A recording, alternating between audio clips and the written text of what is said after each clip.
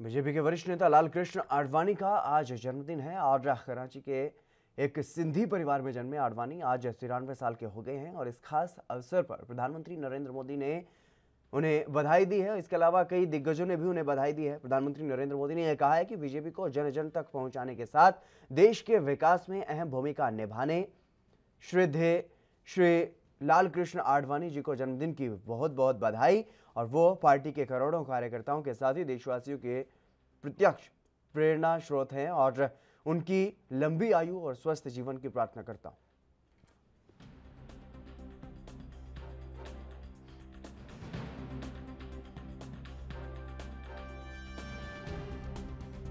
देश दुनिया की खबरों के लिए एएनबी न्यूज़ को सब्सक्राइब करें और बेल आइकन दबाएँ।